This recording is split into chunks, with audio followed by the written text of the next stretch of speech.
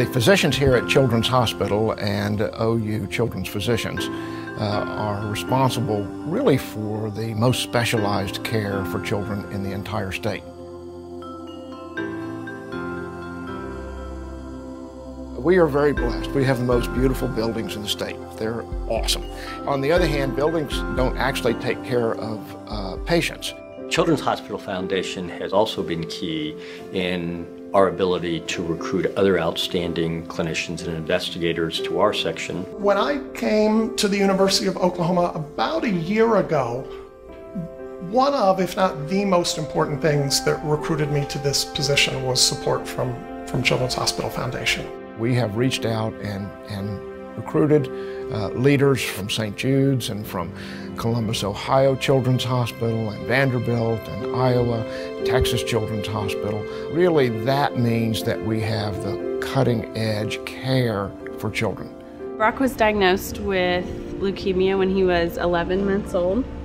We, our first day in the hospital was October 6th, 2009, and the first day we got to go home from the hospital was February 16th, 2010. Children's Hospital Foundation has been a key component of our ability to uh, move forward with the work that we do.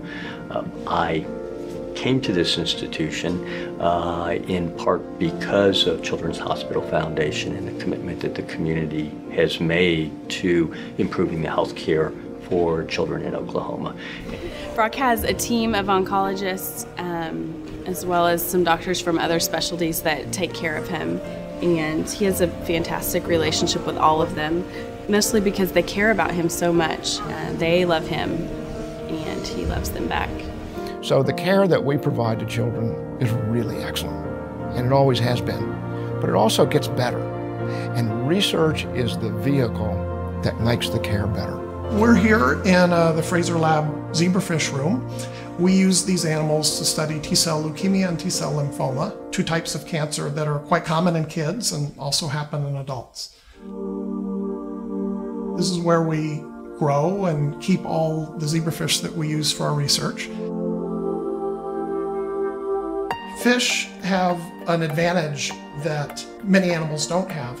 They have a backbone. I mean, you see a fish, you don't think that a fish and a person are the same. But in fact, if you think of all the animals all over the planet, a fish is a lot more like a person than an insect is.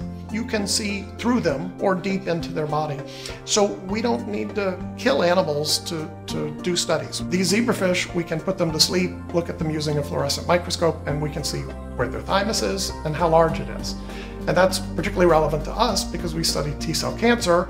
So uh, if you think about pediatric leukemia, um, we've actually come a long way. In 1960s, most children with cancer died. And now, because of a very slow, methodical process, we cure almost 80% of children with cancer. Brock's four and a half now, and he just finished treatment four months ago, and he's cancer free. And so, even for cancers that we're curing 99% of the time today, there's a lot of work to be done to get where we can cure them easier, faster, and in a way that won't won't have any long-term health consequences. Childhood cancer is not just little people with adult cancers. They're completely different and they're treated different. And so we need more research, and in order to do more research, we need more money. Conducting research is very expensive. Uh, whether it's laboratory investigation, where equipment's expensive, reagents are expensive, tumor models are expensive. The financial support, as well as emotional support given by CHF has allowed us to build this room, to build this fish system, to hire people to breed and grow these animals. So not only to do the experiments, but to do all the necessary prep work to be in a position to do these experiments. The human body is so complicated and children have their own special problems. And so all of these various areas um, need research because they all need to get better. We never see measles here. It used to be very common. Smallpox, of course, has been eliminated as a clinical disease, so it's gone. All of those are because of research. We never, ever turn a child away. We don't turn children away based on whether or not they can pay. We always see all children.